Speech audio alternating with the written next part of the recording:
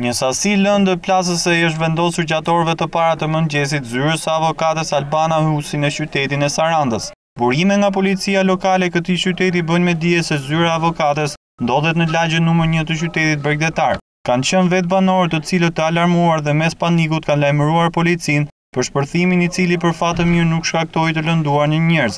Sipas po të njëjtave burime mësohet se janë dëmtuar edhe tre zyra të tjera avokatie të cilat ndodhen ngjitur me zyrën e dëmtuar. Ende nuk dihen motivet e këtij shpërthimi, ndërkohë që policia ka shoqëruar në komisariat dy persona të dyshuar si autorë të ngjarjes. Ndërkohë një pesëdhjetë e katër vjeçar nga fshati Çuk i Sarandës ka humbur jetën në ambientet e spitalit të këtij qyteti.